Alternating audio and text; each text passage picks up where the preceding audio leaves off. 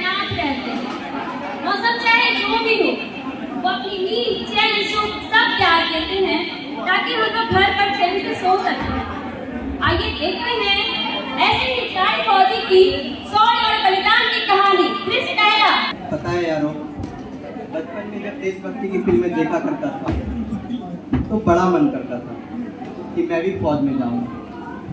आज जब अपने वर्दी पहन के गाँव जाता हूँ तो गाँव वालों का सीना गर्व से चौड़ा होता देख बहुत खुशी मिलती है। वो तो है यार। अपने देश की सेवा करने का सौभाग्य जो हमें मिला इससे बड़ी खुशी की बात और क्या हो सकती है? और कल पंद्रह अगस्त की है।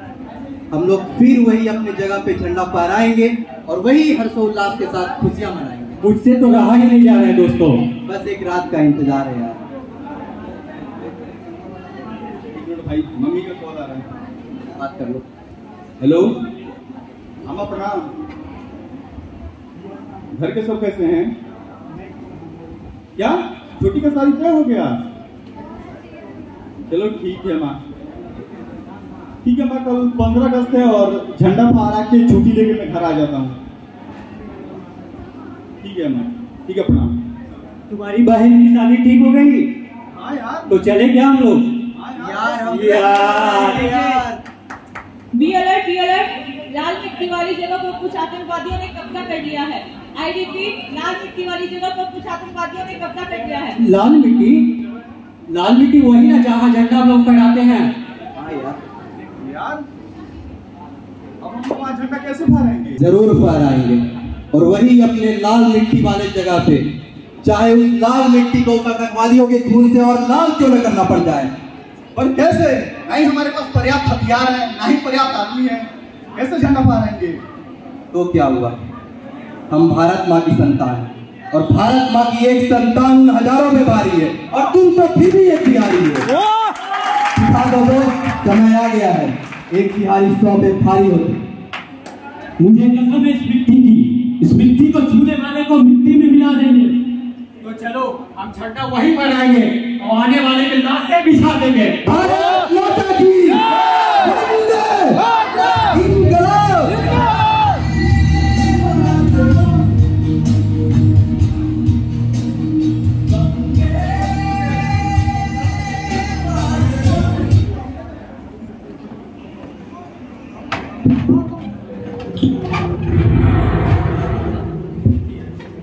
छुप के वार करता है कायर।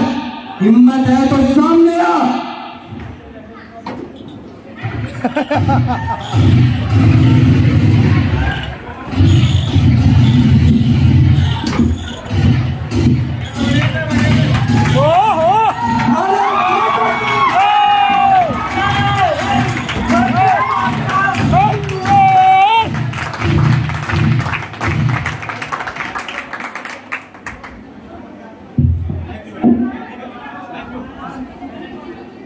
नहीं बिसरा मिश्रा नहीं मिश्रा रुको मिश्रा।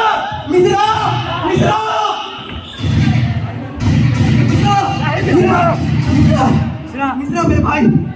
मिश्रा मिश्रा।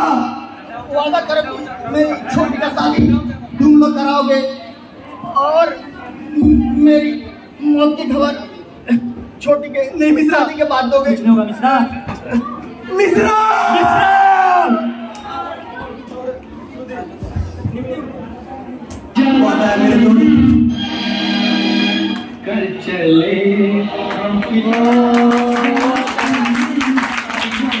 जवानों सावधान हमारे वीर जवान शहीद रामकरण मिश्रा को सलामी दे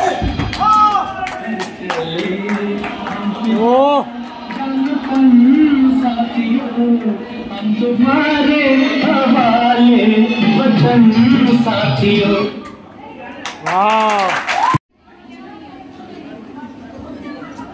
हाँ माँ। कि भैया नहीं आ पाए थे।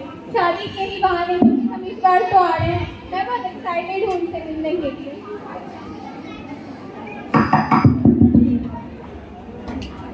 लगता है राम आ गया। हाँ माँ मैं जाती हूँ। माइक दो। सरहद पे बहुत तनाव चल रहा है, इसी कारण तुम्हारे राम भैया नहीं है। तुम्हारा शादी हम लोग करवाएँगे।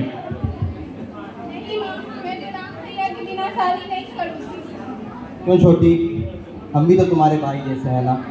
एक भाई वहाँ सरहद पे अपना कर्तव्य निभा रहा है और दूसरा भाई यहाँ अपना कर्तव्य निभाएगा। तुम्हारी शादी हो चुकी चलेगी